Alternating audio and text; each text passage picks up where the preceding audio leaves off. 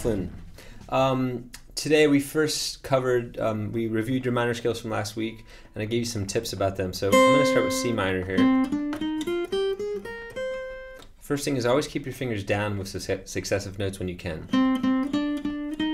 So if there's three notes in a row, all three fingers should be down by the end. When you're doing your um, repeated notes, make sure you're using alternate picking. Um, and we talked about pedal tones. So you can start with the octave, and you can start by leaving the pinky up there and moving the scale tone upward.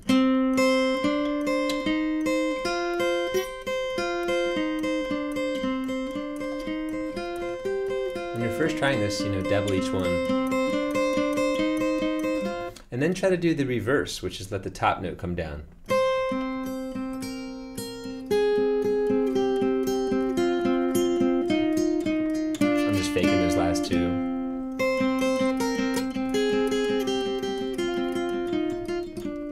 That's one of the cool things they do. The other thing is exploiting the half step. So half step bends on them.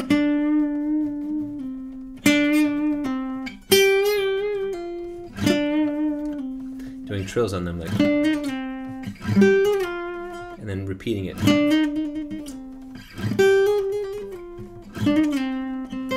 And then you can take these as double stops.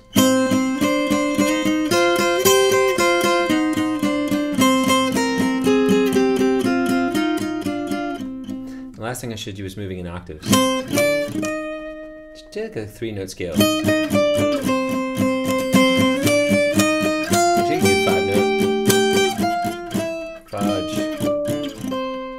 Something worth thinking about. And then we did the major scale in the same spaces. So start with your middle finger.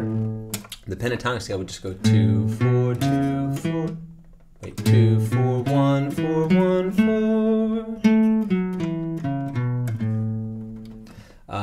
now you gotta add the third. So one, two, three, four, five, six, seven, eight. D major. G major. C major, you'll start with your first finger. This is the most comfortable and important one. The best one to practice your pedal little tricks I gave you in the minors. And then we didn't do this, but with the major, when you get to the second string, go back to the middle finger.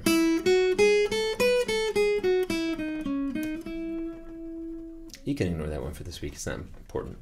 Um, okay, uh, the Muse song, key of B. So just review your chord scale. One, two, three, four, five, six. When you're doing that, say the name of each chord. That's helpful. The progression goes um, one, C sharp minor, two, G sharp minor, six, and E, four. So that's the major key section. And then the bridge starts to dance around. It uses, uses a major three, which kind of foreshadows the, the minor key, and uses the flat seven. So I think it's like a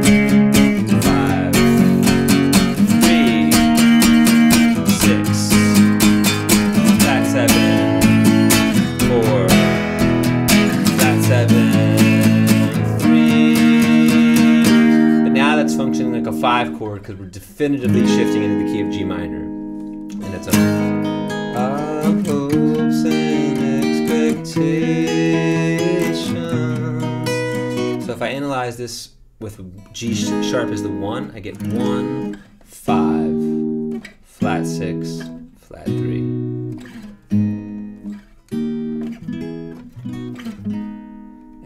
And I'm sure he'll go back to the key of B major. So again, the relative minor is based on the sixth degree of the scale.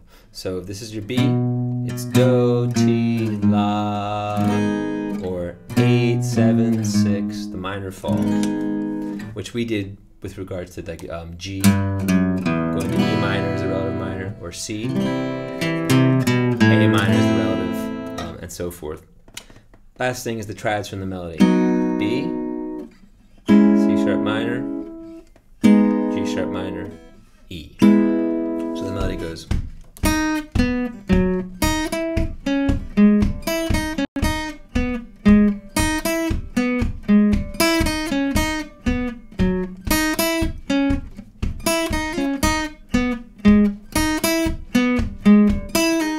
So I'm obviously making that very broken and very melodic so that they're not ringing into each other. But there's nothing wrong with going.